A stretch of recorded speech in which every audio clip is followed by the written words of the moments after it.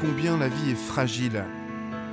Il suffit d'un moment d'inattention, d'une erreur d'appréciation au volant, d'une bagarre qui tourne mal, et au bout du compte, la mort accidentelle qui survient.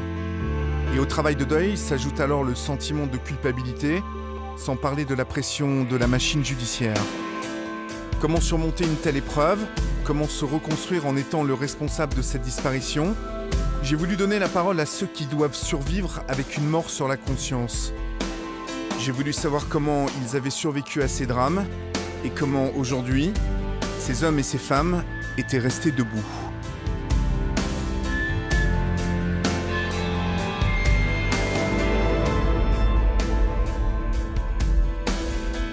J'ai rencontré Karine, 33 ans. Cette mère de famille vit à Paris. Il y a trois ans, elle a perdu Joey, son petit garçon de deux ans et demi. Joey s'est noyé dans la piscine de la maison de vacances.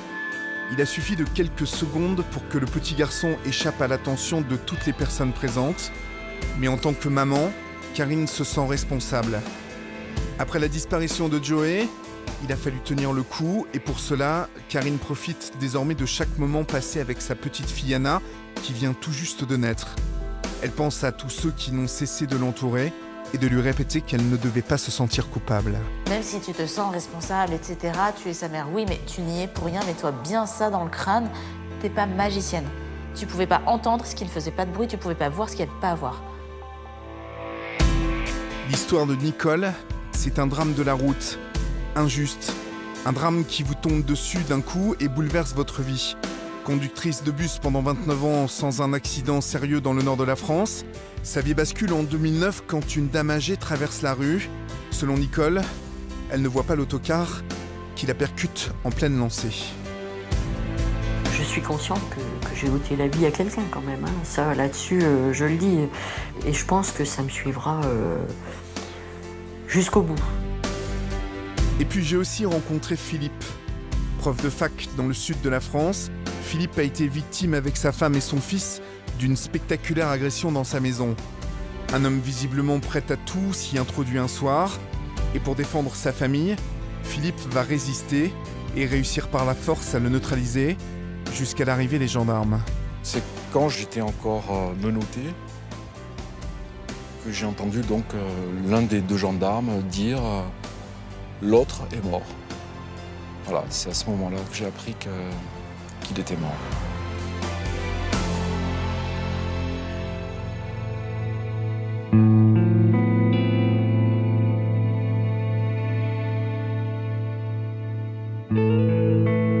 Pour commencer, je vais à la rencontre de Karine.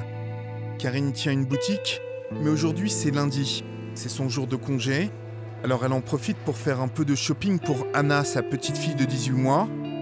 Un moment qui pourrait être très agréable, mais qui est un peu une épreuve pour Karine, car cette jolie maman a perdu il y a trois ans son fils Joey. Il n'avait que deux ans et demi.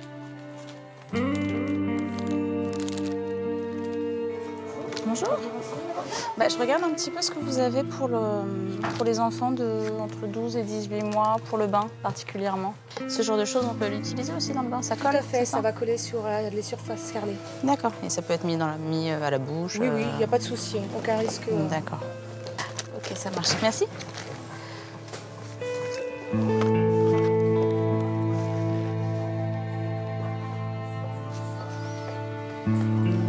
Karine, Bonjour, bonjour. Comment allez-vous? Ça va, ça va. En plein shopping. En plein shopping? En plein shopping, exactement. Et alors, euh, quelle est euh, l'heureuse destinataire de ces euh, jolis petits cadeaux? Ah bah ma fille, ma petite fille. Votre petite fille Eh oui, Anna? Exactement. Bon, elle est gâtée, cette petite Anna? Bah oui, Bon. forcément. En fait, cette petite fille, elle a, elle a tout de même une histoire particulière. Mm. Elle a eu un grand frère. Elle a eu un grand frère, mais qu'elle n'a pas connu, puisque son grand frère euh, n'était plus là quand elle est née, puisqu'il est décédé euh, il y a presque trois ans maintenant. Mhm. Un grand frère qu'elle euh, voit sur les photos et dont on lui parle régulièrement, mais qu'elle ne connaîtra malheureusement jamais. C'était une évidence pour vous de parler tout de suite, euh, enfin, euh, de Joey Bien sûr, euh, bien sûr, Anna il fait, partie, il fait partie de nous, il fait partie de notre vie, il fait partie de son histoire. Ouais. Euh, dans sa chambre, il y a des photos de lui. euh, C'était sa chambre à lui avant. Donc évidemment, bien sûr, bien sûr, c'est son frère et elle grandira toujours en sachant qu'elle a eu un grand frère et on lui en parlera autant que possible. Et dès qu'elle sera en âge de comprendre un peu mieux, ben, on essaiera de lui expliquer un peu plus en, de façon un peu plus précise les choses. Et puis, euh, et puis voilà. Peut-être on va les payer. Je pense et puis qu'il on va les discuter un petit peu de, je pense. de tout ça euh, euh, dehors. Allez-y, Karine.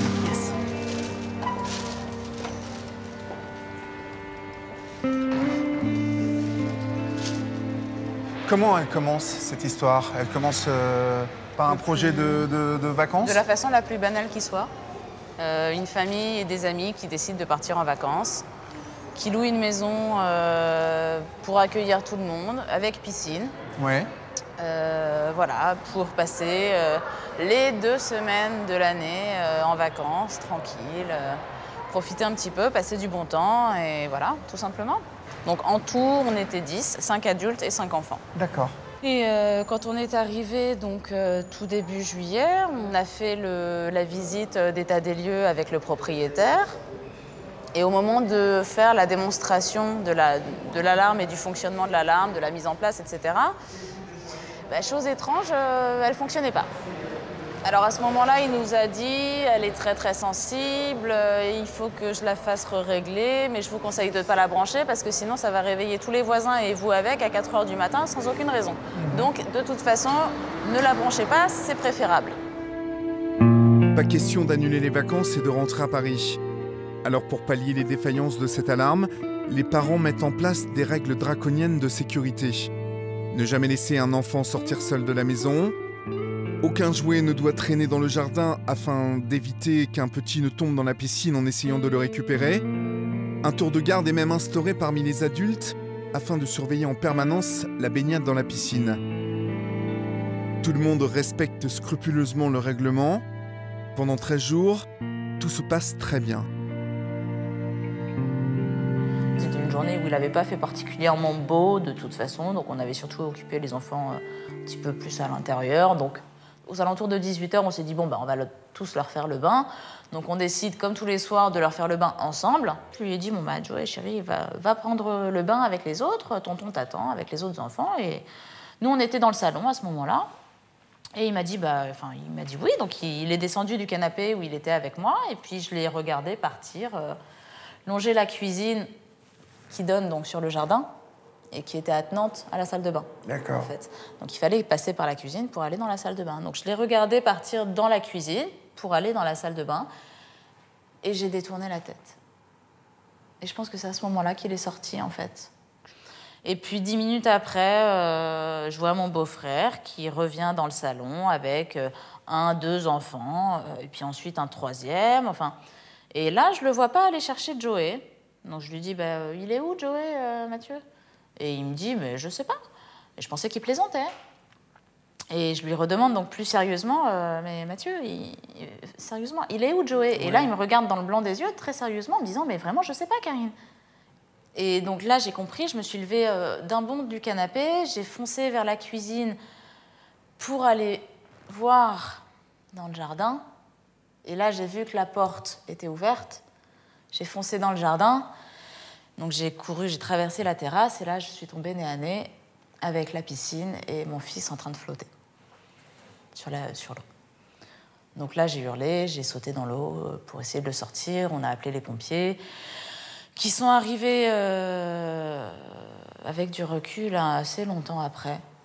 Au fait. Combien, combien de Je temps pense qu'ils ont mis au moins 20 minutes à arriver.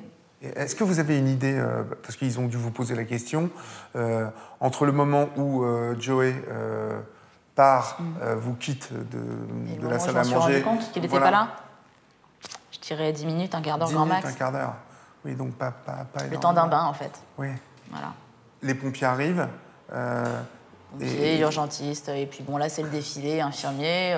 Nous, entre-temps, on avait commencé à lui faire les massages cardiaques, la respiration artificielle, toutes ces choses-là. Euh, et puis, euh, donc, les urgentistes, euh, les équipes médicales sont arrivées, nous ont écartés, ont commencé à établir un champ autour de Joey. Ils ont essayé la... Ils ont essayé avec les, les- les- comment ça s'appelle, les électrodes là Ouais, électrochocs, Voilà, ils ouais. ont essayé les électrochocs, etc. Ils ont essayé plein de choses. Vous étiez té- témoin de tout ça ou... Non, ils nous ont écartés. D'accord. Je comprenais pas ce qui se passait en fait. Pour moi, c'était juste impossible qu'il ne se réveille pas. C'était inenvisageable, impossible. Enfin, ça ne pouvait pas arriver. Et à un moment, il y a un des, urgentistes qui vient me voir pour m'expliquer un petit peu ce qui se passe et qui m'explique donc, euh, avec autant de, tact que possible, euh, qu'ils ont essayé euh, plusieurs choses, que l'électrochoc, ça n'a rien donné au niveau de l'activité cardiaque, que eux, pour l'instant, n'ont pas réussi à relancer le cœur, euh, qu'ils désespèrent pas, mais que pour l'instant, l'activité cardiaque ne donne rien. En gros, Et que s'ils n'arrivent pas à relancer l'activité cardiaque, qu'à un moment, ils seront obligés d'abandonner. d'accord. Donc il essaye, je pense, doucement de me préparer. Et donc, euh, bah, quelques temps après, il est revenu me voir en m'expliquant que ça n'avait rien donné. Euh, mais j'avais déjà compris en fait que c'était trop tard un petit peu avant, quand ce même médecin, je crois, était venu me voir pour savoir. euh, il m'a posé la question suivante. Il m'a dit quand vous avez trouvé votre fils, est-ce qu'il était à la sur- est-ce qu'il était dans l'eau, dans le fond de la piscine, ou est-ce qu'il était déjà remonté à la surface? Et c'est au moment, et la formulation de sa phrase, le fait qu'il ait dit est-ce qu'il était déjà remonté à la surface, ça induisait qu'en fait, au moment où je l'avais trouvé, c'était déjà trop tard. Votre mari n'était pas là? Non, Euh, Qui l'a prévenu euh, de ce qui s'était passé? C'est moi. C'est vous C'est moi, je l'ai appelé euh, quand les pompiers étaient là, qu'ils essayaient de le réanimer. Ouais. Je l'ai appelé à ce moment-là. Je dois avouer que j'ai une chance euh, énorme parce que mon mari n'a jamais douté de moi. Et il m'en a jamais voulu. Pardon.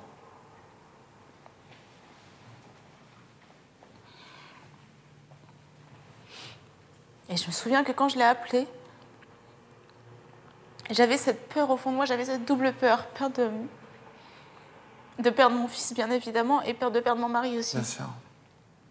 Et, euh, et au contraire, il m'a. Il Il m'a sou- soutenu. soutenu, il m'a jamais. euh, il, il a jamais remis ma parole en doute, il a jamais remis euh, mes actes en doute. Et, enfin, et, et là-dessus, je lui dirai euh, ben, merci jusqu'à la fin de mes jours.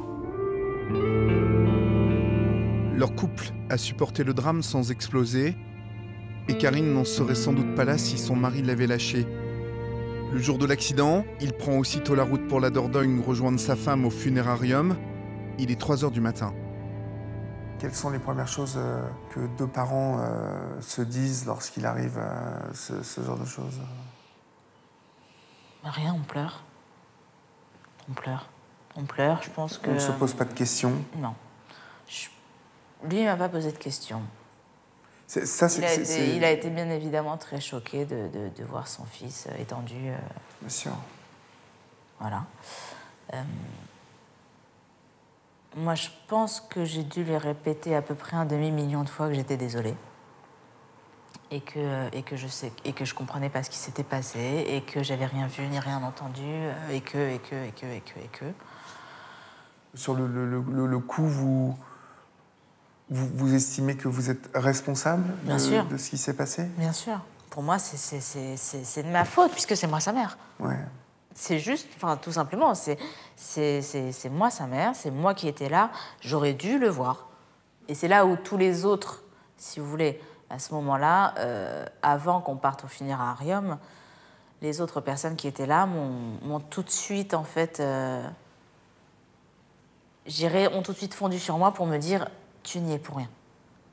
On- tu ne pouvais pas le savoir. On était tous là, personne n'a rien entendu.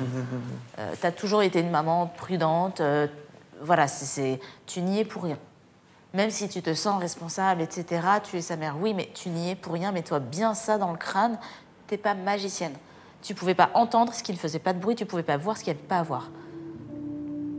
Donc, euh, ils ont essayé de me mettre ça dans la tête tout de suite, et je pense qu'ils ont bien fait. Ces soutiens sans faille ont permis à Karine d'avoir une perception plus objective des circonstances de l'accident. Aujourd'hui, plus de deux ans après le drame, Karine arrive plus facilement à faire la part des choses. Je suis responsable, mais pas coupable. Mmh. Euh, est-ce que, est que vous pouvez m'expliquer euh, en fait ce que, ce, ce que vous voulez dire par là? Bah, C'est très simple. Si je me sens responsable parce que c'est mon fils et parce que je l'ai perdu et que je le retrouverai jamais et parce que, chaque parent, euh, quel qu'il soit, est responsable de son enfant jusqu'à son dernier souffle. Euh, après, euh, je pars du principe que, que ce qui s'est passé, ce n'est pas de ma faute. Ce n'est pas de ma faute, c'est pas moi qui ai fait en sorte que ça arrive. Au contraire, j'ai fait tout ce que j'ai pu pendant ces 13 jours pour que rien n'arrive. Euh, et il a fallu d'un mauvais concours de circonstances pour que le drame se produise. Oui, de, de quelques secondes. Il a fallu quelques secondes où j'ai tourné la tête et où j'ai pas vu mon fils sortir. Il a fallu euh, voilà, une poignée qui faisait peut-être pas suffisamment de bruit pour que je l'entende. Il a fallu une alarme qui fonctionnait pas, qui ça plus ça plus ça. C'est vraiment un concours de un concours de circonstances et c'est là où justement je pars du principe que je suis pas coupable parce que c'est euh, pour pallier à toutes ces petites choses euh, que sont rendues obligatoires les alarmes et les, sécurisations, et les systèmes de sécurité autour Mhm. des piscines. Je m'en voudrais à moi toute ma vie de ne pas avoir eu ce sixième sens de maman, de ne pas l'avoir senti et de ne pas l'avoir vu. Mais je sais très bien que ce n'est pas moi, que ce n'est pas de ma faute à moi. Et que c'était le travail et la responsabilité du propriétaire qui louait la maison de vérifier à ce que son, matériel soit en bon état. Ce qui n'était pas le cas. Pour cette raison, Karine a décidé de traîner le propriétaire devant les tribunaux en septembre 2010. Depuis, il a bénéficié d'un non-lieu pour insuffisance de preuves. Mais pas question pour Karine de renoncer. Elle a donc fait appel. Pour elle, ce non-lieu est insupportable car il signifie autre chose. Si le propriétaire n'est pas jugé coupable, c'est donc qu'on la désigne comme responsable de ce qui s'est passé. Et euh, donc, ça m'a énormément choquée. Et là, euh, j'ai été prise d'une grosse, grosse crise de doute. Et là, le sentiment de culpabilité est apparu. Parce que là, je me suis dit, mais peut-être qu'en fait, tout ce monde-là a raison. Peut-être qu'en fait, c'est vraiment de ma faute. Peut-être que c'est uniquement moi qui devais euh, avoir ce rôle-là et qui dois endosser toute la responsabilité. Peut-être qu'en fait, ils ont raison et que le propriétaire, il n'a rien à voir là-dedans et que l'alarme, bon, bah, elle marchait pas, elle marchait pas, mais que de toute façon, euh, c'est pas une alarme de surveiller des enfants. Depuis la noyade de Joey, Karine tente de soulager sa douleur en se lançant dans un combat, lutter contre les noyades d'enfants dans les piscines. Elle a trouvé une alliée en la personne de Laurence, présidente de l'association Sauf qui veut, fondée à la suite du décès de son propre fils dans une piscine. Laurence a publié un petit livre afin de prévenir les accidents domestiques. Les noyades en piscine, c'est en France la deuxième cause de mortalité chez les moins de 14 ans. Pour Laurence, même si dans la majorité des cas, il s'agit d'un concours de circonstances, tous les parents ont un même réflexe. Certaines personnes cherchent à tout prix un coupable. Ça, je le, je le vois très très souvent. Alors c'est ah ben oui, mais c'est le beau-père, euh, c'est le grand-parent qui gardait l'enfant, c'est mon mari. Si j'avais été là. Et là, ils voudraient euh, faire un procès. Et, et vraiment, je leur dis, vous vous trompez de combat, complètement. Si vous aviez été là, votre enfant se serait probablement noyé de la même façon. Ouais. C'est un accident. J'essaie de leur expliquer et de leur dire de toute façon, c'est trop tard. Le drame est arrivé maintenant, il faut avancer, il faut se reconstruire. Et il faut essayer de. On ne peut pas revenir en arrière. Et, et se reconstruire, est-ce que, est que se reconstruire passe par euh, le fait de, de- de- de- de faire un procès, comme euh, Karine le fait aujourd'hui Euh, Parce que Oui, mais on sent qu'elle a, besoin. Là, il y a une finalité. C'est-à-dire qu'elle veut faire jurisprudence pour faire avancer les choses, pour que les piscines soient sécurisées. Ce n'est pas une querelle stérile. C'est Ouais. pas de la rancœur euh, simplement pour se déculpabiliser. Bien évidemment. Au contraire, je, je trouve que ce propriétaire euh, doit être euh, responsabilisé. euh, en tant que propriétaire de piscine, il a sa part de responsabilité. Il aurait dû protéger la piscine, appliquer la réglementation, et j'espère qu'il sera poursuivi, qu'il aura à minima l'amende prévue par la, la réglementation. Mais concrètement, aujourd'hui, euh, pour tous ceux qui nous regardent ce soir euh, et qui sont en vacances avec leurs enfants, euh, dans des maisons avec piscine, que faut-il pour, je veux dire, au minimum, protéger la vie de ces enfants? Pour moi, une maison sécurisée seulement avec une alarme, euh, je ne la recommande pas pour des familles avec euh, des enfants en bas âge. Une sécurité qui paraît, là encore, c'est du bon sens, c'est ce que, ce que je dis dans, dans, dans, mon livre avec les conseils pour, pour les parents aussi, mais c'est d'apprendre aux enfants à nager le plus tôt possible. Mais ils peuvent commencer à apprendre à nager très tôt, dès deux ans et demi, trois ans. Un enfant qui sait se mettre sur le dos et regagner le bord, ça peut faire la différence s'il tombe à l'eau. Donc, euh, quand j'entends certains parents qui ont une maison avec une piscine, qui me demandent des conseils et qui, au fil de la conversation, me disent qu'ils ont des enfants de 6 ans qui ne savent pas nager, je monte au plafond. Enfin, c'est la première chose quand même. Quelques jours plus tard, je retrouve Karine. Après la mort de Joey, elle a accouché d'une petite fille, Anna, un bébé qui était désiré bien avant le drame cette histoire doit avoir un impact sur l'attitude que vous avez avec Anna. Bien sûr. Comment, elle se traduit, cette attitude? On essaye de... Son père comme moi, on essaye de ne pas devenir complètement parano euh, en ce qui concerne euh, la sécurité, les prises électriques, euh, les coins de table, enfin mhm. voilà. Mais c'est clair que bah, il n'y a pas une fenêtre qui soit ouverte à la maison quand elle y est. Ça, c'est sûr et certain. Et puis, c'est surtout que quand je la vois, je vois son frère et euh, je me rappelle que, je l'ai eu lui aussi dans les bras et euh, qu'aujourd'hui je l'ai plus, qu'on me l'a retiré. Mhm. Aujourd'hui, moi, je sais que, euh, que tout peut s'arrêter en un claquement de doigts. Où en êtes-vous aujourd'hui par rapport à... C'est un combat de tous les instants pour réussir à survivre après un truc pareil. Moi, je sais que j'ai changé, je sais que mon caractère a changé, ma façon de voir les choses euh, et de me comporter a changé. Euh, mon mari, c'est pareil. Je pense qu'on s'adapte. Je pense que l'être humain a une capacité de survie absolument extraordinaire. C'est là hein, qu'on voit. Hein, qu'on n'aurait jamais douté avant euh, qu'on pouvait avoir une telle énergie à, résister à un tel drame. Oui, et puis, et puis aujourd'hui pour ma fille aussi. Pour mon entourage, pour tous mes proches, pour tous mes amis qui nous ont énormément soutenus, portés. Euh, enfin, je veux dire, on a une chance incroyable d'avoir été entourés comme on l'a été. J'ai pu discuter avec d'autres personnes qui, qui, vivaient le même genre de situation et pour qui ça s'est pas du tout passé comme ça. Mhm. Et moi, je me rends compte qu'on a eu énormément de chance parce que personne ne nous a jugés, tout le monde nous a entourés, encadrés et, protégés euh, comme pour faire une bulle autour de nous. Euh voilà, pour vraiment nous préserver et, vraiment, vraiment, vraiment nous, nous, asséner dans la tête à coups de marteau. Vous n'y êtes pour rien, ce n'est pas de votre faute. Voilà. Ça a été important, ça. Ça a été très important. On s'en rend pas compte sur le coup, mais c'est après, au fur et à mesure que le temps passe, qu'on se rend compte de toutes ces choses que les gens ont faites, tous les efforts qu'ils ont fournis, toutes les choses qu'ils n'ont pas laissé eux transparaître mhm. euh, pour, euh, pour rester solides pour nous offrir leur épaule pour pleurer. Mhm. C'est important aussi. Donc. Euh, la vie continue. La vie continue. La vie continue avec ces gens, avec Anna et avec votre, euh, votre mari qui, euh, qui n'a jamais cessé d'être à vos côtés. Ouais. La vie continue pour Karine et les siens. Mais si Joey n'est plus là aujourd'hui, force est de reconnaître que cette alarme défaillante reste au centre de ce drame. Et je sens que pour se reconstruire, Karine a absolument besoin que la justice se prononce enfin.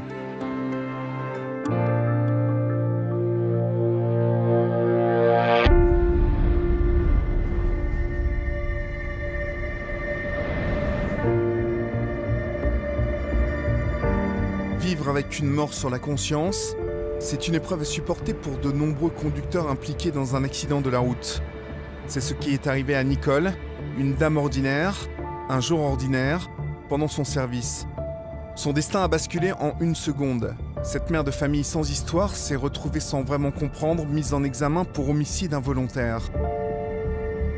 J'ai rendez-vous avec cette jeune retraitée. Il y a trois ans encore, elle était chauffeur de bus, respectée par ses collègues. Nicole, c'est 29 ans de carrière derrière un volant et sans un accrochage. Ce 26 juin 2009, elle finit tranquillement son service, le bus est vide, Soudain, vers 16h, sa vie bascule. Avec son bus, elle cause la mort d'une vieille dame qui voulait traverser la rue. Nicole refait avec moi ce trajet fatidique, celui qu'elle faisait tous les jours, avec son bus. On est comme ça, hein, même avec le bus, hein, on peut pas aller plus vite. Hein. Voilà, on arrive euh, pratiquement sur l'accident. Donc j'arrive, il y avait des personnes qui attendaient le bus, mais sur une autre ligne. Oui. Et sur le petit parking, il y avait une voiture blanche, là, à la hauteur du, du réverbère. D'accord. Donc moi je fais ça, comme ça. Et la dame a dû sortir euh, de là. Voilà, j'entends clac, Mais vous entendez clac. Clac. euh, un, un claquement euh, sec. J'ai mis les warnings, je suis restée comment Sur place. J'ai fait mis le frein de parking, je suis partie et puis c'est là que j'ai vu la, la dame. voilà. Donc la dame était là. Et la dame, Euh, la, la dame, la dame, était au milieu de la route en fait. Elle était là, oui, comme ça là. Ouais, ouais. C'était pas beau à voir quoi. C'était. Trois ans après, cette, cette, euh, Ah, c'est toujours aussi vif. hein. c'est toujours aussi. Ah ouais, vif, ouais, euh, ouais. Là, comme ça, sur les lieux, oui. Ouais, ouais. De retour sur les lieux de l'accident, Nicole n'est pas du tout à l'aise et je le sens bien. Cet accident s'est déroulé sans témoin, personne n'a rien vu. Même Nicole ne sait pas bien ce qui a pu se passer. Elle a seulement entendu le bruit du choc. Les faits précis sont donc difficiles à établir clairement. Forcément, ces doutes taraudent Nicole.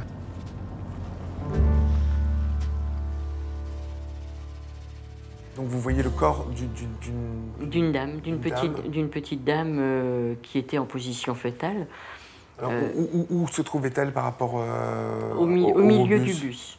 Au milieu du bus.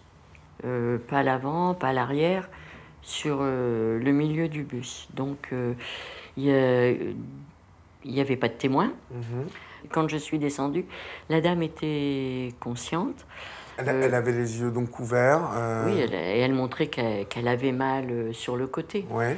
Et les pompiers sont arrivés très vite. Ils l'ont médicalisée une heure sur place. Ouais. Et après, ils l'ont emmenée vers l'hôpital de Maubeuge. Elle était polytraumatisée. Moi, je l'ai appris après. Ouais. Mais elle avait quand même les côtes de cassé, le col du fémur. Elle avait. euh, je pense que c'est une fracture du crâne, mais je, Ouais. je ne saurais pas dire. Quel sentiment vous habite euh, tout ce temps euh, au bord de la route lorsque cette dame euh, est soignée dans la camionnette? On est choqué, oui, c'est sûr. Mais on est prêt à faire n'importe quoi pour euh, que cette dame se relève. c'est c'est indescriptible. C'est Ouais. indescriptible parce que on est impuissant. On est impuissant. Mais cette dame-là, euh, là où elle a été, où j'ai eu l'accident, elle était connue. D'accord. Elle a été très connue, donc euh, elle était aimée de tout le monde. Puis, Mhm. en plus, c'est une mamie, hein, on va Ouais. dire. euh, Ouais. une très gentille dame, quoi. Tout le monde le, le disait, quoi. Je me suis même fait insulter par un- une personne euh, qui passait là en disant que j'étais un assassin, quoi. Ouais. Parce que c'était cette dame-là qui était qu'il connaissait. À quel moment apprenez-vous euh, son décès?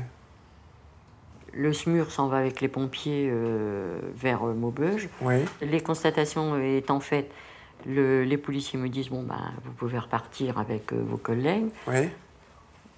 J'ouvre la portière de, de la voiture. Le, policier vient dire euh, La dame est décédée, vous êtes en garde à vue. Bon, ben, je suis en garde à vue. Et je suis reparti avec la police euh, au commissariat de Maubeuge. Est-ce que vous aviez le sentiment euh, tout de suite d'avoir euh, commis une erreur quelconque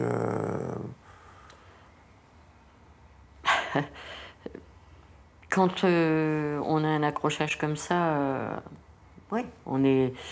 On culpabilise, on se dit, ben, on a fait quelque chose qui, qui ne fallait pas, on n'a pas, peut-être pas été assez vigilant, on passe des centaines de fois à cette place-là. Vous arrivez au commissariat de police oui. et euh, à partir de ce moment-là, euh, euh, comment ça se passe pour vous? Il y a, je présume que c'est un inspecteur de, de police avec euh, un autre de ses collègues Mhm. qui me demande de relater les faits. Donc c'est ce que je fais. Après, on vous demande d'enlever les bagues, d'enlever les lacets si vous en avez. Comme je ne suis une femme, le soutien-gorge. Alors, euh, que... Oui, là, là, là, là, on... Là, c'est plutôt, dégradant. Oui. C'est une dame hein, qui vient euh, pour. Ouais. euh, on, est gentil, on est gentil avec vous quand même. Ah, tout à fait. Oui, Mhm. ça, je dirais pas. Donc, on prend les empreintes, on vous photographie de face, de profil. euh, Puis après, on vous dit, ben, on viendra vous, vous rechercher, on vous met en, en cellule, puis vous attendez. Alors là, vous avez le temps de réfléchir. Euh. Revoir cette dame-là, euh, et je la revois encore aujourd'hui, euh, allongée le long du bus, c'est ça qui. Comment je vais dire Qui est le plus pénible. Ah ouais. Les gardes à vue et l'interrogatoire de Nicole se poursuivent normalement. Dans la foulée, elle est transférée au tribunal où elle se retrouve face à une substitut du procureur dont Nicole garde un souvenir plutôt amer.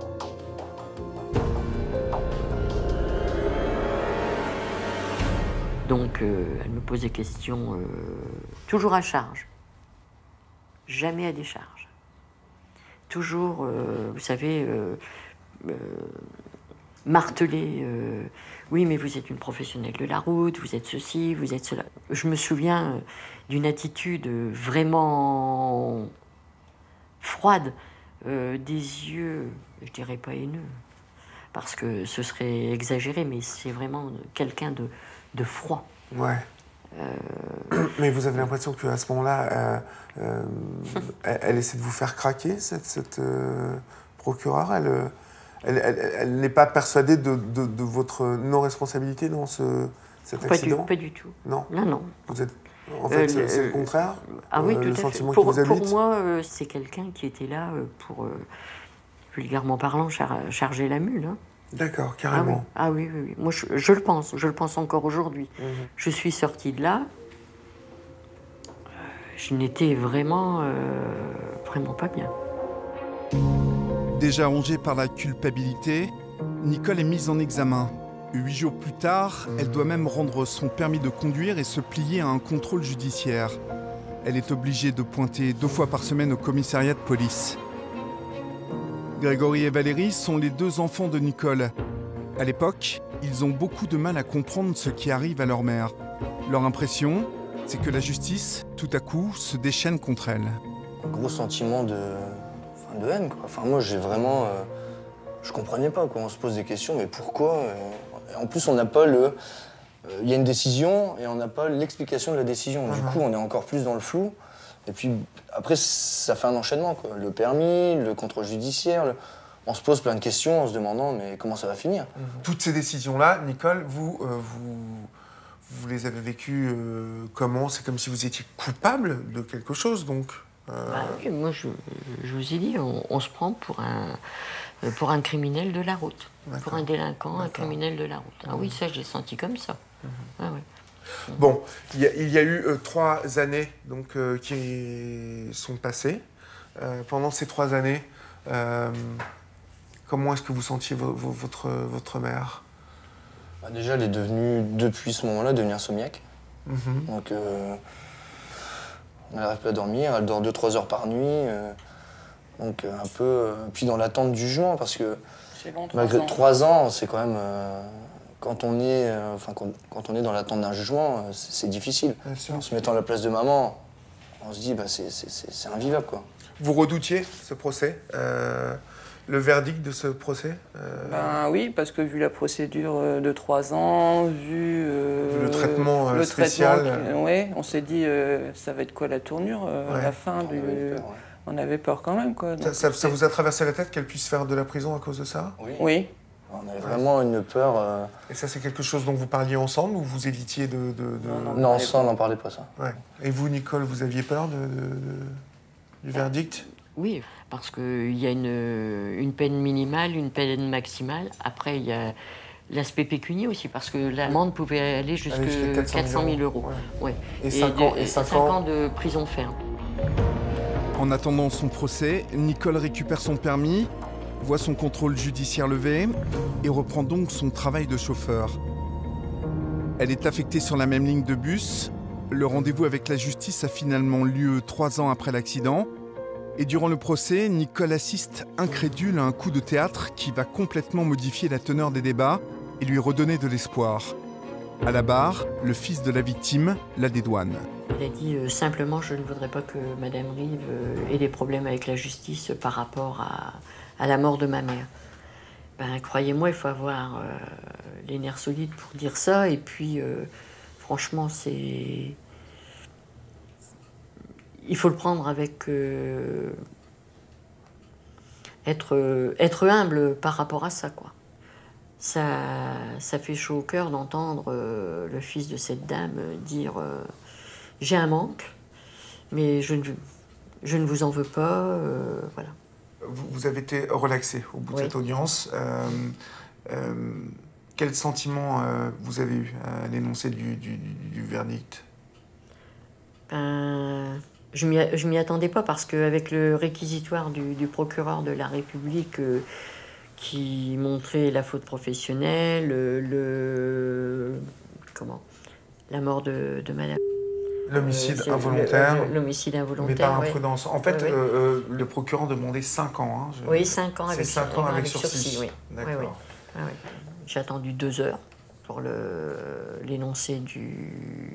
Donc euh, je suis sortie à 21h du tribunal en étant relaxée. Mais c'est pas, une- pas une joie en soi, c'est pas une fin en soi parce que on a toujours la présence de cette dame décédée.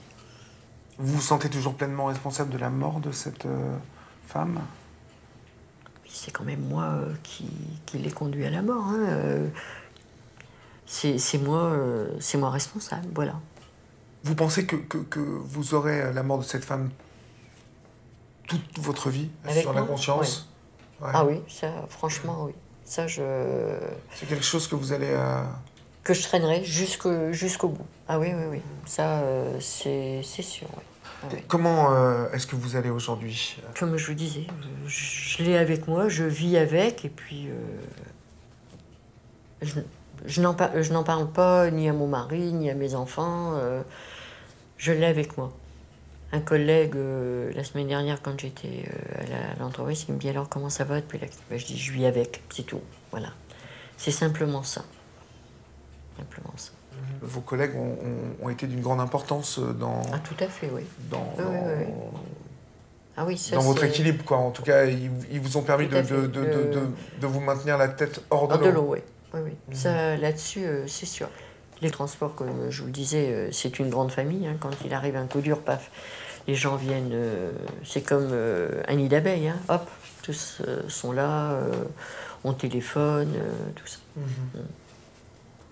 Mais c'est, quelque chose de, de dur à, à supporter. Je peux- Si vous deviez en fait euh, penser aux gens qui vous ont aidé à, euh, à supporter, euh, Oui. à, à- à qui vous pensez, à quelle personne vous pensez? Ben, je, je pense à, monsieur, parce qu'il est resté humble d'un bout à l'autre de la, de la procédure. Ça, c'est quelqu'un de, de très bien. Puis, euh, je vais vous dire, mes enfants, tout ça, euh, ça a fait que. Heureusement qu'on est quand même euh, solidaire dans la famille. À travers cette histoire, j'ai senti que le sentiment de culpabilité était encore très présent chez Nicole. À l'évidence, toutes les explications rationnelles du monde ne pourront le faire disparaître. Que serait devenue Nicole si le fils de la victime n'avait pas témoigné de façon aussi sincère et courageuse à l'audience en la disculpant? Ce témoignage lui a redonné l'estime d'elle-même, il a surtout modifié l'image que certains pouvaient se faire d'elle après l'accident. En quittant Nicole, je sais que c'est le pardon du fils de la victime qui aura largement contribué à soulager sa conscience.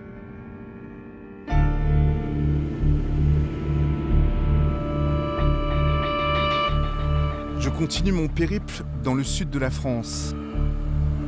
Au bord de la Méditerranée, j'ai rendez-vous avec Philippe.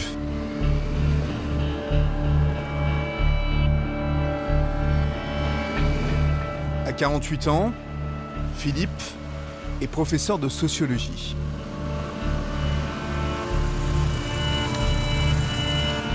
Philippe, Bonjour. bonjour, comment allez-vous? Très bien. Très bien. Grosse moto, hein Vous en faites tout le temps Pour moi, c'est presque 365 jours par, par an. Bah, Moi aussi, hein, à Paris, je suis en deux roues. La température n'est pas la même. Parce que, vrai, voilà. En fait, c'est après l'agression que vous avez décidé de passer votre permis moto. Bah, Après l'agression, bon, ça a été un moment difficile aussi. euh, on en reparlera. Mais Donc ça a été pour moi aussi une, voilà, une espèce de thérapie, Mhm. vraiment. Passer mon permis, et puis... euh, Et s'envoler là-dessus. Voilà. On est ici euh, dans le sud, pas loin de Montpellier, à une trentaine de kilomètres. Ouais. Vous avez choisi de ne pas tourner chez vous parce que, en fait, ça vous rappelait euh, des, des mauvais souvenirs d'une d'une soirée d'octobre euh, 2009. Bah oui, c'était difficile pour nous, pour ma femme, pour mon fils, pour moi, pour de, de nous accueillir euh, chez nous. Parce que, évidemment, bon voilà, comme on le verra, il y a quelqu'un qui est venu chez nous, euh, qui n'était pas euh, invité, qui s'est invité lui-même. Et, et puis, euh, et puis ensuite, il y a eu aussi beaucoup d'intrusions.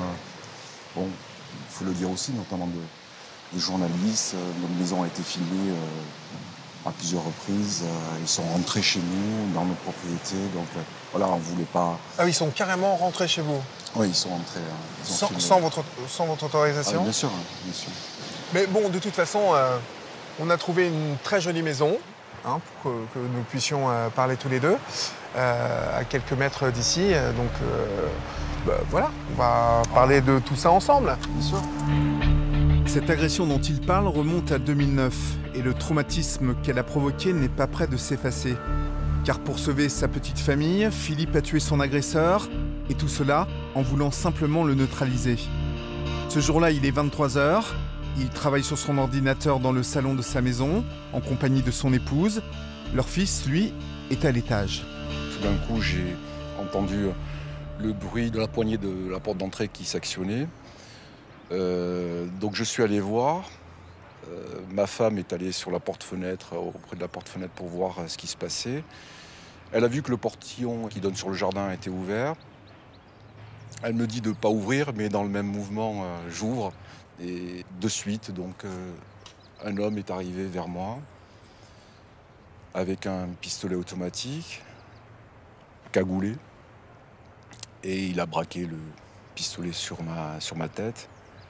Et il m'a demandé de, donc, de rentrer. Ma femme était juste derrière moi, donc on a été poussé à l'intérieur de la maison.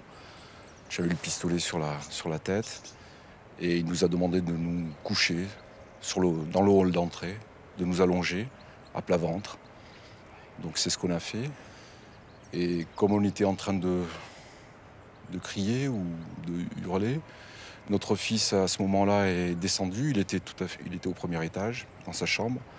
Il est descendu à ce moment-là et l'agresseur donc euh, a braqué le pistolet sur, euh, sur mon fils et lui a demandé donc euh, de continuer à descendre, de se rapprocher. Il lui a dit ici, il lui a dit viens ici petit et il lui a ordonné donc de se coucher, de s'allonger à, côté de nous. Votre fils avait, quel âge Mon fils avait à l'époque 11 ans et demi. 11 ans et demi.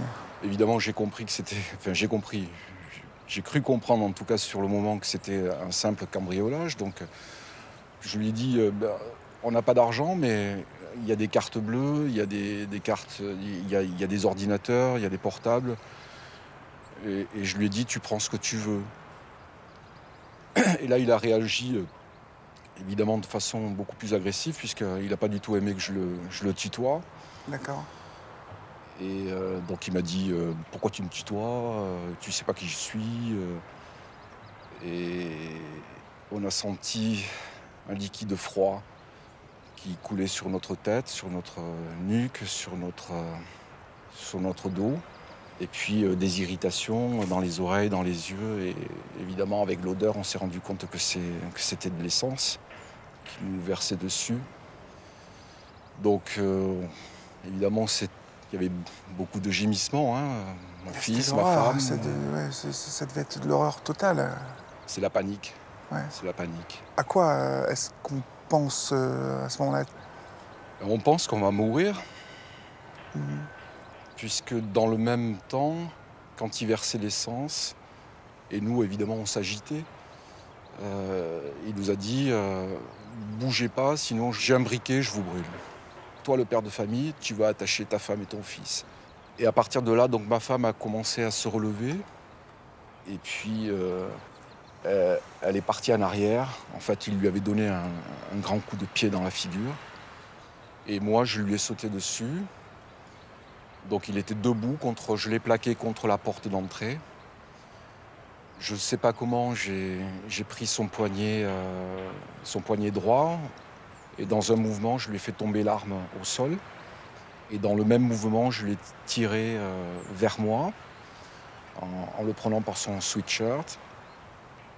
Et, euh, et donc il est tombé. On est tombé en fait tous les deux euh, sur mon fils. Et à partir de ce moment-là, je l'ai tenu au sol. Lui couché par terre, moi en perpendiculaire. J'ai mis mon, mon bras, mon bras droit sous sa nuque et j'ai tenu avec euh, ma, main, ma main gauche, j'ai tenu mon poignet droit. Euh, voilà, et on ne est resté dans plus, cette situation. plus rien lâcher là. Ah non, il n'était pas question de le lâcher. Ouais. hein, parce que Vous passiez de, de l'instant où vous vous étiez vu euh, mourir, euh, vous et votre famille, je suppose, à, à Ah, l'inespéré en fait. Euh, oui, c'était c'était un renversement de situation. En tout cas, il y avait un- une amorce de renversement de situation. Oui, parce que vous, vous- vous n'êtes absolument pas habitué euh, euh, à, à vous battre. Non, pas du tout. En fait, quand je lui ai sauté dessus, à partir du moment où je l'ai tiré vers moi et que j'ai libéré la porte d'entrée, ma femme est sortie pour euh, appeler les secours, pour aller chez les voisins. Elle, a- elle a réussi à s'échapper à ce Voilà, moment-là. Elle est sortie et mon Et- fils est resté avec moi. Et euh, la- l'agresseur, donc, que, je maintenais au sol, à ce moment-là, a commencé à s'agiter de nouveau. Euh, il a failli me faire basculer. J'ai entendu mon fils derrière moi en train de me dire, de dire euh, j'ai le pistolet, si tu bouges, je tire. Et comme l'autre était en train de, de se débattre, euh, j'ai dit à mon fils, tu poses le pistolet et tu sors pour rejoindre ta mère. Lorsqu'il se débattait, euh, c'était euh, limite C'était entre vous limite, oui. Surtout, surtout la première fois. Il a vraiment failli me faire basculer euh, par-dessus lui. C'est pour ça que j'ai dit à mon fils de, de sortir parce que je ne savais pas du tout si j'allais réussir à, à le maîtriser À tenir, ou continuer à le maîtriser. Et puis euh, bah là, c'est un grand moment de solitude. Là. Là, Oui, Parce que vous vous retrouvez en, en tête à tête retrouve, avec euh, voilà. votre agresseur. Mais est-ce qu'il vous parle, cet homme? Est-ce que... Il m'a parlé une seule fois. Il m'a dit euh, lâche Joron, lâche-moi Joron, lâche Joron. Voilà, deux, trois fois. Donc il, connaissait votre nom Voilà, de famille j'étais surpris. J'étais surpris sur le moment de, de- de- voilà, de- d'entendre mon nom, de voir qu'en fait euh, il connaissait mon nom. Évidemment, je ne pouvais pas savoir que qu'en fait véritablement il me connaissait. Ouais. Donc vous le maintenez? Je le maintiens au Il, sol. il se, il, il va se débattre encore après ou euh, Il va, se c'est- dépa- il va se débattre en- encore euh, trois, quatre fois. C'est-à-dire c'était des, des moments où il y avait des moments d'accalmie Mhm. et des moments où il, essayait de me prendre par surprise. Donc je, je le maintenais. Je Mhm. maintenais bien. Vous le maintenez combien de temps cet homme euh, Parce que la police va arriver à un moment? Je dirais que entre le moment où je le maintiens, où je le maîtrise au sol, et le moment de l'intervention des gendarmes, je dirais qu'il y a à peu près euh, une vingtaine de minutes. Au téléphone avec la femme de Philippe, les gendarmes lui ont conseillé de ne pas retourner dans la maison. La précaution élémentaire lorsqu'un malfaiteur est armé. Au bout de 20 minutes, les gendarmes débarquent. La façon dont je suis situé avec, euh, avec l'individu, j'arrive à voir la porte d'entrée qui est euh, ouverte et je vois euh, deux silhouettes. Ces deux silhouettes foncent sur moi, se jettent sur moi. Là, est-ce que vous, Bah là, je respire là. vous respirez là ouais. Vous Là, y croyez dis- que ce sont les gendarmes là Oui, parce que j'ai senti très rapidement les menottes derrière, donc euh, D'accord. ils m'ont menotté, donc euh, après je suis resté une partie, un, un petit moment euh, couché. Oui, ils vous menottent parce qu'ils ne savent pas qui est l'agresseur et qui est l'agressé en fait. Tout à fait. D'accord. Et donc c'est quand j'étais encore euh, menotté que j'ai entendu donc euh, l'un des deux gendarmes dire euh, l'autre est mort. Voilà, c'est à ce moment-là que j'ai c'est à ce moment-là que j'ai appris qu'il était mort.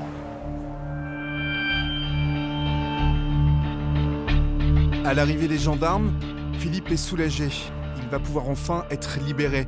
Il y a quelques minutes, il risquait d'être assassiné avec toute sa famille. Désormais, c'est la fin du cauchemar. C'est tout du moins ce qu'il croit. Car au lieu de cela, les gendarmes vont lui signifier qu'il est désormais en garde à vue pour homicide. Interrogé à la gendarmerie, il ne pourra revoir sa femme et son fils que quelques heures plus tard, après que chacun ait été entendu séparément. C'est pendant sa garde à vue que Philippe va découvrir avec surprise l'identité de son agresseur. Les gendarmes sont arrivés avec l'information selon laquelle euh, euh, cette personne était étudiante en fait dans mon université en sociologie et euh, qu'il était donc inscrit en deuxième année de sociologie et que donc il avait été euh, mon étudiant. Il était un de vos élèves en fait. Voilà. Ils m'ont présenté euh, une photo aussi. C'était en fait une photo euh, qui provenait de leur fichier, puisque c'était aussi une personne qui avait euh, eu des antécédents judiciaires. Et, et là, c'est vrai qu'il y avait, euh, je me suis souvenu de, de quelqu'un qui était venu, qui pouvait lui ressembler, quelqu'un qui était venu donc me voir, qui avait demandé à, à me rencontrer. C'était un an auparavant pour me demander de remonter sa moyenne. Il avait vraiment eu une mauvaise année, en fait, une deuxième, euh, une deuxième année qui n'avait pas du tout réussi. Je lui ai dit que ça allait être difficile. Alors là, ça m'a surpris. Il m'a, il m'a mis la main dans le dos, il m'a donné une petite tape comme ça dans le dos. Et puis, euh, il m'a dit euh, On peut toujours trouver une solution, mon ami. Je dis Bon, ben, la solution, je pense qu'elle est toute trouvée, c'est-à-dire que vous allez devoir euh, sans doute euh, repasser vos examens. Et là, il, bon, il est parti, il n'était pas spécialement content, évidemment. Et je l'ai plus revu. Je l'ai plus revu. Jusqu'à ce qu'on vous présente cette photo. Ouais. À votre avis, aujourd'hui, quelles étaient ses, ses- ses réelles intentions Euh, Pour les enquêteurs et pour euh, le juge d'instruction, c'est une volonté euh, d'assassinat. Il y a une tentative de, triple assassinat. Dans ce qui s'est passé, vous, avez euh, une, mort sur la conscience. Le fait que vous serriez cet homme, euh, que vous le mainteniez au sol, qu'il en est mort. Est-ce que le, fait qu'il soit un de vos anciens élèves change quelque chose? S'il avait été un, parfait inconnu, est-ce que ça changerait quelque chose pour vous? Moi, j'aurais préféré que ce soit un parfait inconnu. J'aurais préféré que ce soit un simple cambriolage euh, qui aurait tourné le mal. Mhm. Mais là, euh, il y a plusieurs choses qui me dérangent énormément. Évidemment, il y a la mort de quelqu'un, ça c'est. Ça, je peux pas faire autrement et je, je vis avec ça. Mais euh, il y a aussi le fait qu'il me connaissait, il nous a suivis, il a fait des repérages. Hein, il- et, et puis, il est voulu non seulement attenter à ma vie, mais aussi à la vie de ma femme et de mon fils. Et ça, c'est euh, c'est pas simple non plus à, à accepter. Mais pourquoi? Et, ben, en fait, l'enquête va déterminer qu'il avait eu euh, des antécédents euh, euh, psychiatriques.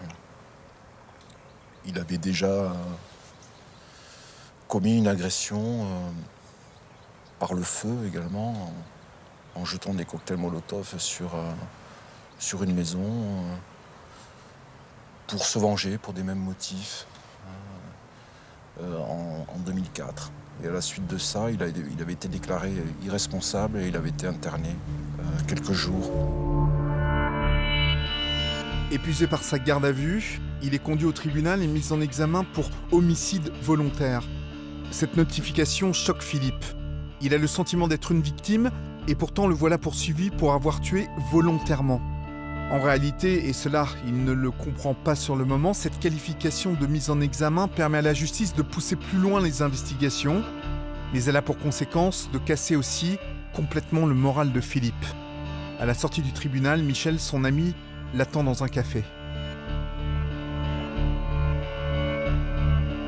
Philippe est arrivé et on était très très émus. Philippe m'est tombé dans les bras, on est tombé dans les bras l'un de l'autre. euh, je pense qu'il lui l'a ressenti comme une première délivrance, hein, le, le- le fait de, de voir un visage ami après euh, C'est un moment fort. Vous avez décidé de l'emmener chez vous euh, Oui, euh, il y avait sans doute une inquiétude aussi. On ne savait pas s'il y avait des complices. Enfin, le- la maison avait un côté menaçant. Leur maison avait un côté menaçant. Ouais. Elle avait été dans tous les journaux de manière euh, euh, extrêmement voyeuriste, hein, presque obscène. Il y avait le numéro de leur maison, il y avait les photos de leur maison, des caméras qui, qui filmaient l'intérieur du jardin, etc. C'était Ouais, très oppressant aussi, Très parce que du coup, ouais. ça, devenait, euh, ça devenait un lieu public. Euh, donc j'imagine que pour eux, c'était aussi euh, une manière de prendre un peu de recul, euh, d'a- d'aller euh, quelques jours au vert, euh, de Mhm. prendre du recul avec l'endroit lui-même, avec évidemment l'événement, mais avec l'endroit. Il y avait euh, en gros deux versions hein, qui circulaient dans les médias et qui l'ont, qui l'ont euh, euh, je pense, euh, perturbé. euh, euh, c'était de savoir si c'était un héros ou un assassin. Y compris, mais j'ai entendu des choses incroyables. On a dit qu'il était prof d'art martial, Oui, ouais, ouais. qu'il était spécialiste, je sais trop quoi, enfin, de, de l'hyperviolence. On était sur une espèce de, de- de délire. euh, Fantasme. euh, ouais, oui, complet, quoi. Et y compris les, les qualifications judiciaires du- de, de- de- de l'affaire faisaient aussi que pour certains, il pouvait y avoir un quiproquo. Ouais. Parce que la victime, c'était l'agresseur qui était qualifié, puisqu'en effet, il, Oui. il est malheureusement décédé dans, dans l'incident, il, il était qualifié judiciairement de victime. Et Philippe perdait, j'ai envie de dire, entre guillemets, son statut de victime. Et la victime, c'est quand même Philippe, sa femme et son, et son gamin. Moi, je l'ai vu traité d'assassin. Euh, donc ça, je pense qu'aussi, le, le fait d'être son ami, c'était de, de lui, de lui rappeler que c'était pas un assassin. Ouais, de remettre les, les choses à leur place. Mais cet ami, il rassure son, son, Oui, son, son, euh, son pote euh, comment En lui disant. Euh, En euh, étant à avec lui, en l'évidence. partageant autre chose aussi que uniquement euh, les, souvenirs euh, immédiats de la tragédie, d'être, euh, euh, d'aller se balader dans le bois, d'aller, euh, d'aller faire une partie de pêche, d'aller, euh, de continuer à faire des choses qu'on faisait avant. Michel et sa famille sont des alliés qui ont beaucoup compté pour aider Philippe et sa famille. Pourtant, les mois qui suivent l'agression sont très difficiles à vivre. Il faut dire que l'affaire fait la une de la presse. Les gros titres des journaux reprennent à leur compte des infos parfois fausses qui entretiennent la confusion sur la réalité de l'agression.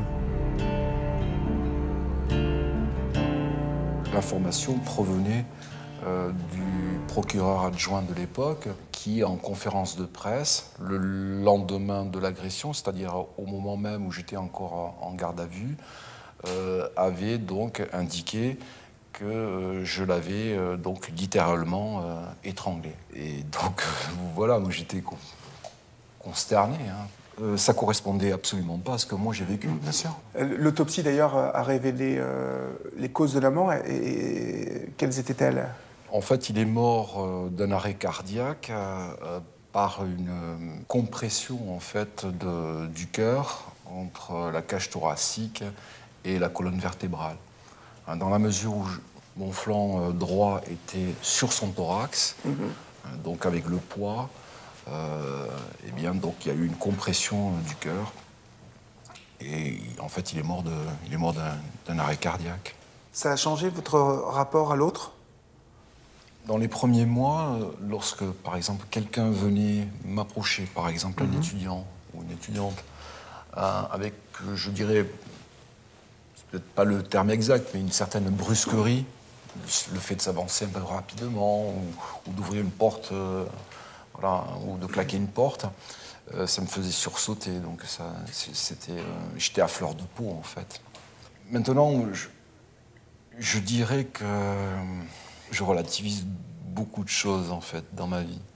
L'essentiel, c'est de, d'avoir un regard, je dirais un petit peu, je ne veux pas dire nécessairement optimiste, mais en tout cas euh, de donner du crédit euh, à la vie. Parce que si on ne donne pas du crédit à la vie, euh, c'est, la mort qui, qui se rapproche. Philippe a dû attendre un an avant d'être blanchi par la justice avec un non-lieu. Une décision capitale et déterminante dans sa reconstruction. Car à partir de ce moment-là, il redevient enfin la victime et non plus le professeur assassin de son élève.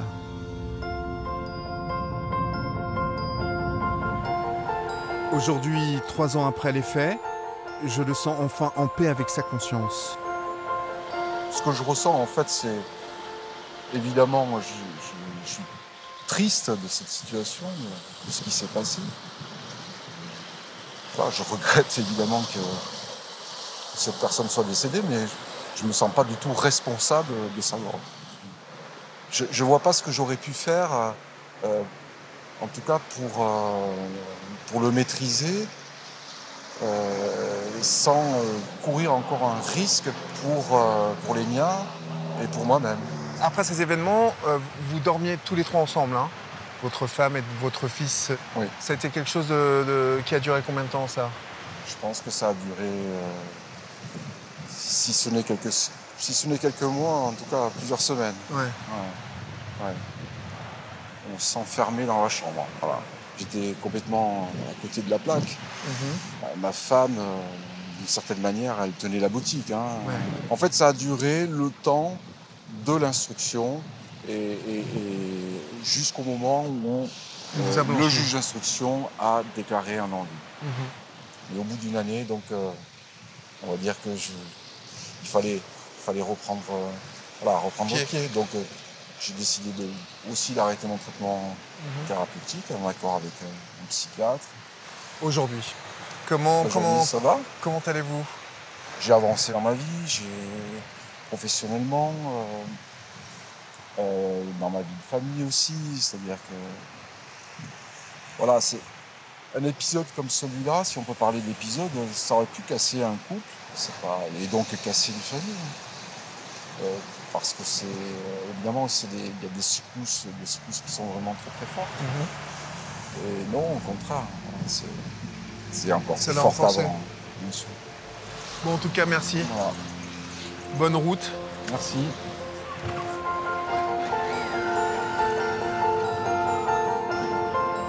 En quittant Philippe, je sens que parler de cette histoire l'aide à évacuer ce qui lui est resté sur le cœur et surtout à rappeler la vérité, à savoir que ce soir-là, un homme est bien venu l'agresser, lui et sa famille, et que si la fin s'est avérée aussi tragique, il n'en est en rien responsable.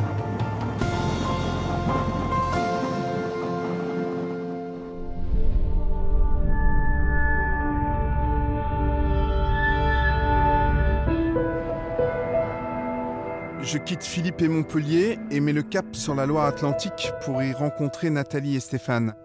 Un couple et une famille recomposée. D'un précédent mariage, Nathalie a déjà eu trois enfants, trois garçons, et avec Stéphane, elle a donné naissance à une petite fille. Pourtant, à la maison, il y a un grand vide. Titouan, le dernier des garçons de Nathalie, n'est plus là. Il est mort en 2006. C'était en plein été, le 23 juillet, une belle journée sous le soleil.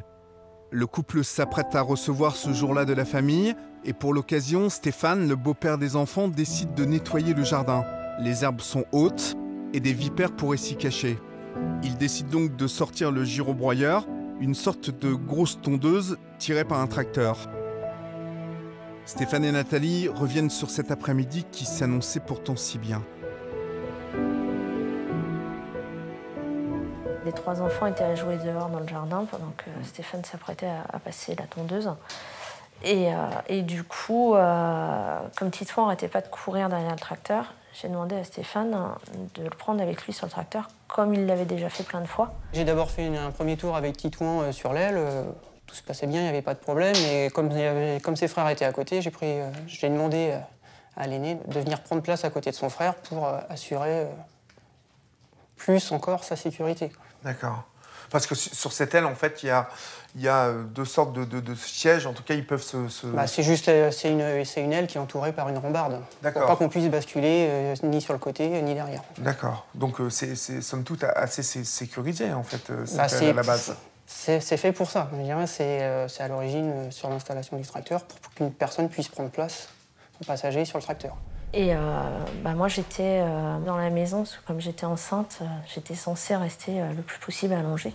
Au passage entre le, qui est plus étroit entre euh, la balançoire et puis l'arbre, euh, un arbre qui, est- qui était à, à quelques mètres, me- j'ai ralenti et je me suis même arrêté pour, euh, pour y aller tranquillement et vérifier que les enfants étaient bien à leur position. Et donc j'ai redémarré. Et c'est euh, c'est un mètre ou deux après que j'ai senti un- une vibration énorme euh, à- sur le matériel de au tracteur. Et là, j'ai stoppé immédiatement. Et quand je me suis retourné qu'il n'y avait plus qu'un enfant, moi, j'ai- tout de suite euh, imaginé le pire Ouais. qui s'était qui s'était avéré être vrai. C'est-à-dire en fait que Titouan avait. euh, Bah, Titouan, euh, bah, des- Titouan était, euh, était sous le, sous le gyrobroyeur. Transporté en urgence par hélicoptère à l'hôpital, Titouan décède peu après son arrivée. Très vite, parallèlement, l'enquête se déclenche afin de connaître les circonstances exactes de la mort de l'enfant. Et forcément, des soupçons sur la responsabilité du beau-père de Titouan vont émerger. Le procureur a tout de suite diligenté euh, une section de la, de la police criminelle pour venir mener l'enquête sur les lieux avant qu'on puisse retoucher, retoucher à, la, à la scène et, et revenir sur les lieux. D'accord. Donc ça, ça- ça veut dire que vous avez euh, tout de suite euh, retrouvé, euh, euh, à- après les pompiers et le CHU, euh, des gendarmes dans, dans le... Bah, après l'audition à la gendarmerie, le temps qu'on revienne sur la route du retour, ils avaient fait plus vite que nous, ils avaient forcé le portail, ils étaient sur les lieux en train de prendre les, les premières, les premiers repères euh, balistiques. D'accord, c'est quelque chose qui, ça aussi... euh, Très très dur quand Ouais. on voit que c'est marqué euh, police criminelle ou euh, judiciaire euh, derrière les, enfin, dans le dos des, des officiers. C'est terrible. On vient d'affronter une épreuve qui est déjà euh, difficilement surmontable. Bah, Après euh, est revoir, revoir ça, être, euh, pour moi quelque part c'est une mise en cause. C'est voilà, ouais, on voit, ouais, euh, il y a le mot euh, crime, enquête. C'est euh, un peu la double peine quoi. On est obligé de revoir, re- retracer la scène immédiatement après quoi. Il a même fallu que je remonte sur le tracteur qui n'avait pas bougé depuis. Ah, je savais pas ça. donc entouré par les gendarmes et En vous demandant de refaire exactement... refaire les, les actions, expliquant- expliquer en détail ce que moi j'avais j'avais vu. Est-ce que vous avez compris euh, ce, ce- ce qu'il s'est passé réellement? Vous avez eu une explication sur euh, sa chute euh, On en a eu une. En fait, euh, et pour pouvoir passer entre la balançoire et un sapin, à un moment de temps, euh, Titouan et son frère se sont penchés un peu en avant pour éviter une branche. Et euh, en se penchant, euh, au moment de se relever, a priori, euh, Titouan aurait été déséquilibré, on ne sait pas trop comment. Et, c'est là où il aurait glissé en fait du siège. Son frère, qui n'avait à peine 10 ans à l'époque, a essayé de le retenir, mais euh, il ne pouvait pas. Quoi. Il, il faisait pas le poids physiquement, et puis euh, ça a été très vite. Et, du coup, il est tombé du tracteur, et euh, tout de suite après, il est passé en fait sous l'appareil, euh, sous le gyrobroyeur. Vous dites que depuis cet événement, bien évidemment, vous, vous souffrez d'un sentiment de culpabilité euh, euh, énorme. Mm. Ce sentiment de culpabilité, je suppose qu'il s'est imposé euh, tout de suite. Tout de suite. Tout de suite. et voilà, j'ai- pas, j'ai pas, en fait, quelque part, j'ai pas réussi à, à imaginer que ça puisse arriver et faire en sorte de prendre les mesures pour l'éviter. Et, et est-ce que, en fait, ce sentiment-là, dans, dans les jours qui ont suivi l'accident, il, il a évolué euh, Dans il un premier temps, euh, voilà, c'est, il y a l'émotion. Après, il y a, les, il y a- je dirais qu'il y a la période des si. Mais Ouais, après, le sentiment de si, ouais. il revient. Ouais. Pour moi, il est toujours resté linéaire et, je pense qu'il restera linéaire jusqu'à la fin du jour. Qu'entendez-vous par euh, linéaire? Bah, qu'il n'est pas, il est pas monté sur, en haut d'une courbe et puis redescendu progressivement et remonté suite à un événement. Ouais. Moi, mon sentiment de culpabilité, euh, oui, je, je me sens coupable et, et ce, sera, euh, ce sera toujours au même niveau. C'est pas parce que quelqu'un va me dire oui, il y a ceci, oui, il y a cela. Non. Moi, j'ai vécu les choses et euh, Ouais. ça varie pas, ça. Mais est-ce qu'on vous pose des questions autour de, de l'accident? Oui, par contre, oui. Pourquoi vous avez fait ça? C'était dangereux, c'est. C'est une bêtise. Vous avez fait une bêtise. qui, qui vous dit euh, vous avez fait une bêtise? Mon père me l'a dit. Mon père me l'a dit et euh, j'ai envie de lui dire mais t'as fait la même bêtise que moi puisque quand j'étais petite euh, il me laissait aller sur le tracteur de mon grand-père. Sauf que bah, moi je suis encore là quoi. Mhm. Il s'est jamais rien passé. Vous estimez avoir fait une bêtise en laissant Titouan monter sur ce tracteur? Oui. J'aurais peut-être dû oser dire non à mon fils, de ne pas lui faire plaisir en fait. Être euh, dans ce, dans ce rôle de maman euh, casse-pied qui dit non. Non parce qu'il peut t'arriver quelque chose. Donc oui, je m'en veux. Je m'en veux parce que pour moi, j'ai une part de responsabilité, une très grosse part. C'est moi qui ai dit à Stéphane de le mettre sur le tracteur. Vous vous dites que vous êtes une mère inconsciente euh, d'avoir euh, laissé monter votre fils sur ce tracteur. euh, vous pensez toujours ça aujourd'hui? Ouais. Moi, j'ai une part d'inconscience. Voilà. J'ai pas su voir le danger. J'ai pas, j'ai pas su protéger mon enfant, tout simplement. On écoute Nathalie, euh, elle se considère comme responsable. Et puis euh, après, on vous écoute euh, et euh, vous vous dites aussi responsable. De... Bien sûr que je suis, bien sûr que je me considère comme responsable, puisque l'accident il a eu lieu sur le véhicule Mhm. Ouais. que je conduisais. Bien sûr. Donc je peux pas dire, je suis pas responsable. Bien Pour sûr, moi c'est quand même, c'est, com- c'est impossible. Mhm. Titouan était sous ma responsabilité au moment de l'accident, donc je suis forcément responsable. Ouais. Quelle image de vous se faisaient les gens après cet accident? Vous vous souvenez? J'avais l'impression, et j'ai toujours l'impression parfois avec certaines personnes, de ne pas être regardé euh, pour moi tel que je suis, Stéphane. Mais euh, par rapport à cet événement? Par, par rapport à c'est le gars à qui il est Ouais. arrivé un accident Ouais. mortel avec son fils. C'était relié, relié à cet événement. J'avais voilà, j'avais du mal à les, à les regarder de face parce que pour Mhm. moi c'était une vision. Enfin, le regard qui me renvoyait, c'était celui de quelqu'un qui est coupable d'avoir euh, ne pas su éviter la, la survenue d'un accident. Mhm. Donc je me posais vraiment en tant que, que, que- que coupable. Et euh, j'arrivais pas. à- J'ai eu énormément de mal à me débarrasser de, de ce sentiment-là, en fait. Mhm. Et bah, c'était aussi vrai dans le monde professionnel, quoi. Le fait de retourner travailler. euh, être je dur. savais très bien que tout le monde savait ce qui m'était arrivé. Et le fait de réaffronter tous ces regards-là, dans une grande société, c'est assez difficile. Le père biologique prévenu immédiatement par Nathalie, son ex-épouse, est effondré. Il veut des explications et exige une autopsie du corps de son enfant.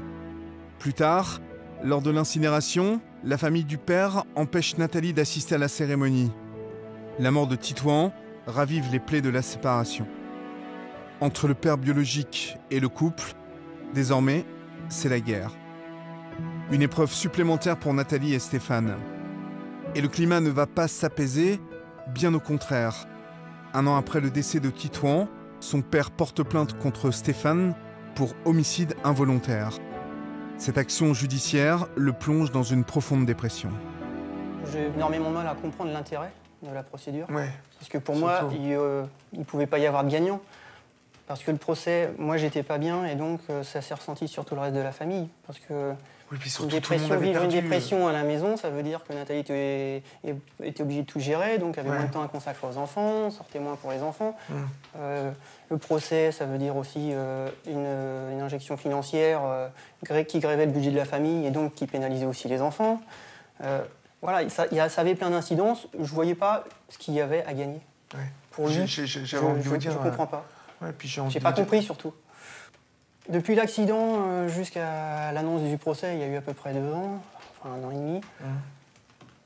J'avais réussi à, surmonter tout, j'avais réussi à gérer tout et à essayer d'encaisser, de remonter. Et, euh, il y a eu la naissance de Marine, on ça allait mieux à la maison.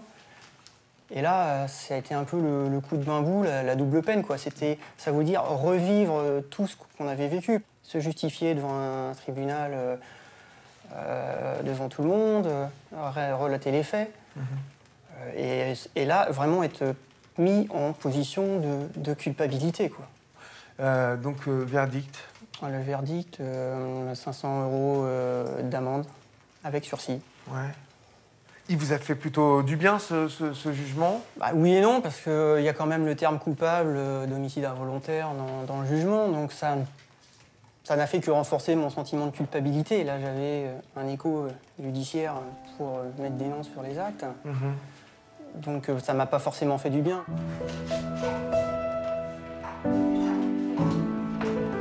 Pour le bien de leurs enfants, pour sauver leur couple, Stéphane et Nathalie font face. Nathalie apporte un soutien sans faille à son nouveau mari. Elle-même est minée par un sentiment de culpabilité que je ne soupçonnais pas.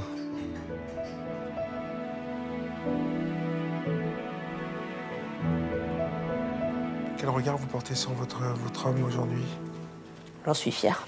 Mhm. J'en suis fière parce que c'est pas évident ce qu'il ce doit supporter. quoi. Vous en parlez ensemble Non. Non. Non, parce que je veux pas le blesser. Je veux pas le blesser euh, en étant maladroite. Parce que je sais pas du tout comment lui il ressent. Parce que pour moi, j'ai bien, entre parenthèses, gâché sa vie. Comment ça Bah, quand on s'est rencontrés, on va dire que c'était bah, idyllique, quoi. On avait les, les enfants qu'on voulait, moi j'avais les miens, on allait en avoir un et tout. Et en lui demandant de mettre Titouan sur le tracteur, je lui ai mis, entre parenthèses, cette responsabilité de Titouan, comme il- lui qui était responsable de Titouan à ce moment-là. Pour moi, non, il n'était pas responsable, puisque c'est moi qui lui ai dit.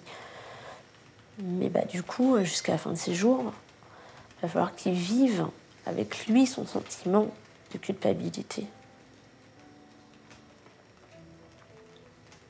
Si j'avais pas demandé à ce qu'il mette Titouan sur le tracteur, Titouan il serait encore là et euh, Et vous y pensez tous les jours? Tous les jours. Il n'y a pas un jour où j'y pense pas. Pas un jour et pas une nuit.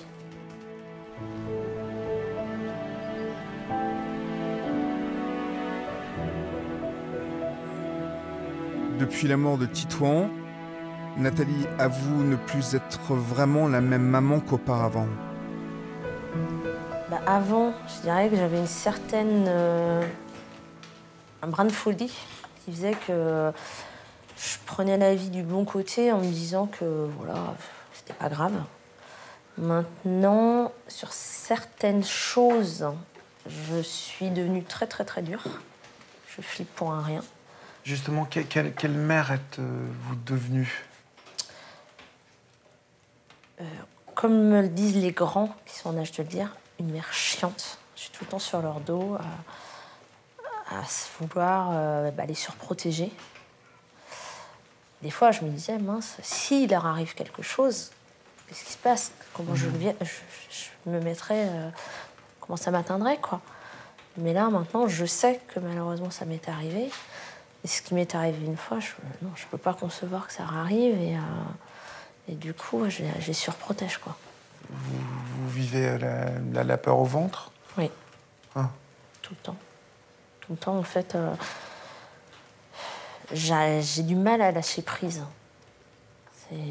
Je suis obligée, euh, ça devient des ados les plus grands, de, de leur laisser une certaine liberté. Ouais. Mais c'est dur, c'est super dur. Je me demande comment Nathalie et Stéphane ont tenu le choc.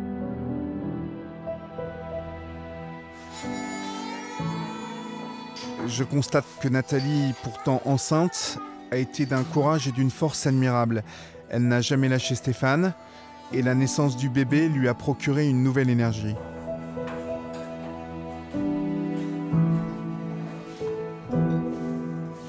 Est-ce que le fait aussi que euh, vous mettiez au monde une petite fille euh, a eu euh, son importance? Pour moi, personnellement, c'était plus facile.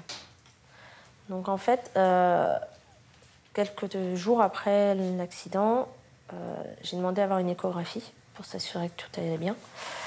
Et j'ai demandé à savoir le sexe de l'enfant. Et là, on m'a dit que c'était une fille. J'ai demandé au moins dix fois. On m'a bien vraiment fait voir sur la photo. Et euh, c'était plus facile à gérer de savoir que c'était une fille. Ouais. Oui. Parce que si ça avait été un garçon, il est fort probable qu'il y aurait eu des lapsus dans le prénom. Évidemment, je ne l'aurais pas appelé Titouan. Mais est-ce que j'aurais pas choisi un prénom se rapprochant, avec les mêmes consonances? Ouais. Euh, Et puis j'aurais été beaucoup dans la comparaison. Et là, quand on m'a dit que c'était une fille, je me suis dit ça va être plus facile à gérer. Lorsque euh, votre euh, petite fille est, est née, Là, c'est, on va dire que j'ai repris peu à peu part à la, la vie réelle. En, bah, de toute façon, j'avais pas trop trop le choix. Euh, fallait que je continue à m'occuper des, des plus grands, euh, les emmener à l'école, les- faire les courses, des choses comme ça. Et euh, restez debout. ouais, rester debout. De toute façon, j'avais que deux options. La première, c'était je m'allongeais, je mangeais pas, je pleurais, je, voilà, je me laissais couler. Ouais. Et je faisais subir à mes parents, à mes enfants, à mon mari, ce que j'étais en train de subir, où je rebondissais pour eux. C'est ce que vous avez fait. Bah, j'ai pas, voilà, je c'est pas que j'ai pas eu le choix, si, on, a- c'est bête, on va dire, on a toujours le choix. Mais euh, bah, il y avait, voilà, il y a- je, je me voyais pas leur faire subir ça. Quoi. Moi, je, je- je l'aurais très bien compris, j'avais envisagé que Nathalie puisse vouloir se séparer de moi. Pour moi, c'était quelque chose, c'était une des solutions euh, possibles et envisageables. Mais elle n'était pas du tout dans cette, op- dans cette optique-là, et euh, c'est pour ça que qu'on a continué et qu'on s'est mariés par la suite. Ah, Vous vous êtes mariés ensuite, ouais. Après la naissance de Marine, on s'est mariés. Et puis, euh, bah, Marine, c'était euh, voilà, c'était aussi la concrétisation de, de l'amour entre Nathalie et moi. C'était l'enfant qu'on avait en commun. Donc, euh, on était toujours sur la phase de, reconstruction et de, la vision sur l'avenir. Et cet avenir, le couple l'a bâti avec intelligence, sans mesquinerie, sans coups bas, sans jamais mettre Titouan au cœur des petites querelles du quotidien. Se sente aussi responsables l'un que l'autre, euh, ça, nous- ça crée une solidarité et il n'y a pas de rejet de la faute euh, de l'un sur l'autre Bah, dans un seul sens. Il n'y a jamais eu de toute façon euh, d'accusation, que ce soit Stéphane envers moi ou moi envers lui. Quoi. On ne sait jamais. euh, bah, comme tout couple, hein, il y a des engueulades des fois. On pourrait dire, euh, sous le coup de la colère, on balance son venin. quoi. Non, ça, je... moi perso, ça m'est pas venu à l'esprit. Si, il y a des fois où il y a des, dans des moments d'énervement, il y a des choses qui sortent qui sont blessantes. Oui, Mais, Oui, non, euh, mais on se on- connaît on- suffisamment, bien qu'ils font référence à l'accident, ça arrive, ça vient sur le tapis, mais euh, voilà, on se connaît suffisamment l'un et l'autre pour savoir que euh, c'est sur le coup de la colère et euh, on a parfois tendance l'un comme l'autre à dire des choses qu'on pense pas réellement. quoi. Ouais. Non. Mais est-ce que vous sentez que depuis six ans, euh, euh, cette culpabilité, elle, elle a- elle a évolué euh, Elle s'est transformée elle s'est transformée. Maintenant, je dirais qu'il y a toujours de la culpabilité, mais j'ai appris à l'apprivoiser. Je- Il y a certains jours, pas tous les jours, mais il y a certains jours, je me dis arrête de te prendre la tête avec ça et essaie d'avancer. J'essaie de me dire euh, faut que je garde que les bons moments avec Titouan. Vous, c'est. euh, Ouais, Lorsque vous écoutez votre femme, c'est Bah, oui, la même chose C'est à peu de choses près, oui. Je pense qu'en après les premiers moments où la culpabilité euh, elle est, elle est à son summum, plus le temps passe, plus on arrive à se raisonner et on arrive à vivre avec ce sentiment de culpabilité. On ne peut pas dire qu'il décroît, on le gère différemment, on apprend à le gérer, à gérer ses émotions, à vivre avec. Vous, vous avez tenu tous les deux à faire euh, ce, ce- ce film. Euh, pourquoi? Alors moi, c'était euh, parce que j'ai besoin de parler de Titouan. Ça me fait du bien d'en parler. C'est d'une certaine façon continuer à le faire vivre. On ne l'oublie pas, on ne l'oubliera jamais. Titouan, c'est de- c'est devenu et on le considère comme notre petit ange gardien qui veille maintenant sur notre famille pour que tout se passe bien. Je sens combien avoir parlé de Titouan a fait du bien à ce couple. Je sais qu'un drame comme celui-là représente un tel tabou qu'on se retrouve isolé dans son chagrin, sans pouvoir en parler autour de soi. Nathalie et Stéphane ne peuvent compter désormais que sur le temps afin que s'atténue la douleur et le manque.